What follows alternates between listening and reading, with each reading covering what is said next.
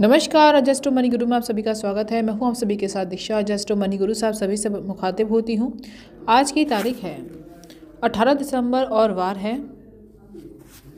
सोमवार, शो में बात करेंगे सूद बाज़ार की साप्ताहिक समीक्षा के बारे में, जहाँ पर हाउजरी यान तेज हुआ है और कॉटन वेस्ट में सुधार हुआ है। बुनकरों की मांग कमज़ोर होने से गत सप्ताह के दौरान सूद बाज़ार में हौसरी यान के भाव पाँच रुपये प्रति किलो बढ़े। आपूर्ति कमज़ोर होने से कॉटन वेस्ट की कीमतों में सुधार का रुख रहा।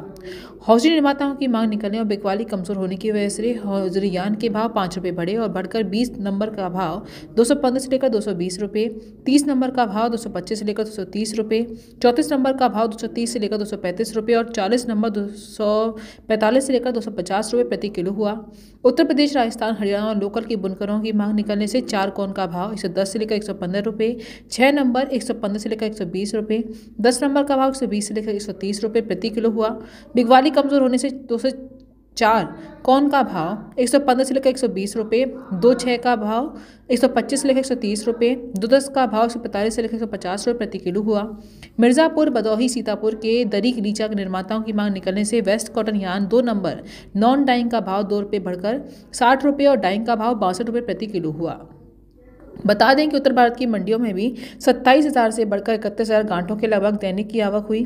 कताई मिलों की मांग कमज़ोर होने से जे थर्टी फोर रुई का भाव पचास रुपये घटकर तिरपन सौ से लेकर पचपन सौ रुपये प्रति मन हुआ। हालाँकि निचले स्तर पर बिकवाली कमज़ोर होने और ओपन और मिलों की मांग निकलने से कॉटन वेस्ट का भाव एक से दो रुपये बढ़कर फ्लैट स्वीपिंग इक्यासी से बयासी रुपये बिलो ड्रॉपिंग इकतालीस से लेकर बयालीस रुपये स्वीपिंग पैंतालीस से लेकर छियालीस रुपये और कॉम्बर का भाव से तेरह से लेकर चौदह रुपये प्रति किलो हो गया। दोस्तों रजिस्टर मनी गुरु बयालीस कम्युनिटीज़ पर काम करके पूर्व विशेषण के साथ आपको हर जानकारी देते हैं। किसी भी जानकारी के लिए आप हमारे दिए नंबर पर कॉल करें, हमसे संपर्क करें और हमारे हमारे चैनल को लाइक करना सब्सक्राइब करना ना भूलें। नमस्कार।